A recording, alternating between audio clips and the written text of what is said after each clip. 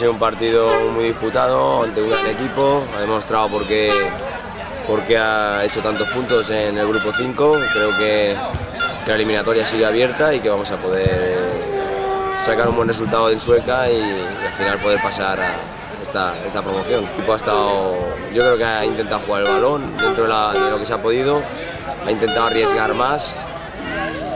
bueno, vamos allí convencidos de que vamos a poder levantar la eliminatoria esta.